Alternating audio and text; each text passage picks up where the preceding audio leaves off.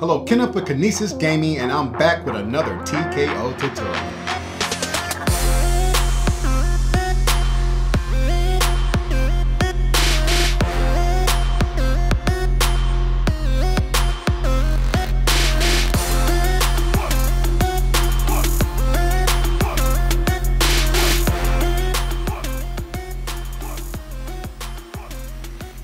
The TKO provides some of the best features for typing and gaming. The all-new SmartSet app 3.0 is unlike other keyboard customization software. The SmartSet app doesn't need to get installed on your PC. Just download it from our website and double-click the file to launch the app. Run it when you want to customize the keyboard and close it when you're done. No more bloatware running in the background.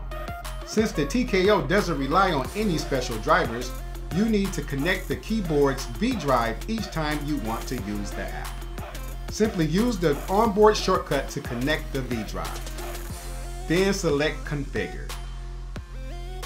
The keyboard would automatically load the active profile, but you can edit any of the nine profiles with the drop-down menu.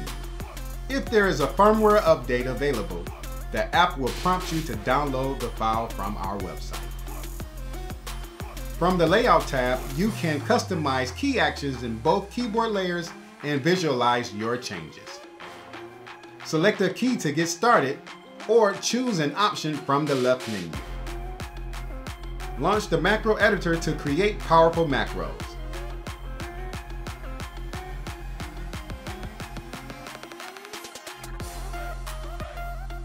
or customize the hyperspace keys. The TKO features lots of powerful user tools for high performance gaming and typing. So experiment to find the layout that works best for you. The TKO features dual zone RGB lighting. Load the key lighting tab to customize the backlighting effect. Use the freestyle effect to assign a unique color to each of the 63 keys. Or choose from one of the 10 animated effects and customize the colors, direction, and speed. You can even assign a different effect to the FN layer to help you find important embedded keys.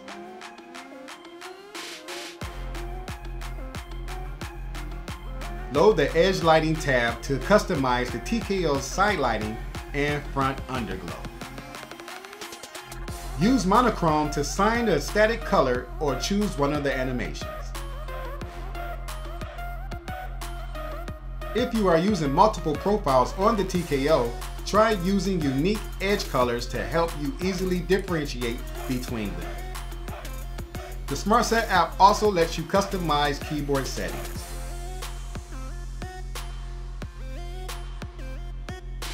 and you can share custom profiles with a friend.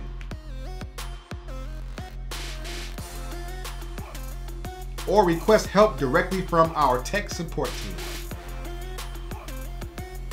Because the TKO doesn't use any special drivers, the keyboard does not update in real time. When you're done editing, first save the changes in the app. You can use the onboard refresh shortcut to implement your changes or close the V drive. If you have any questions, please let us know and don't forget to visit kinesisgaming.com.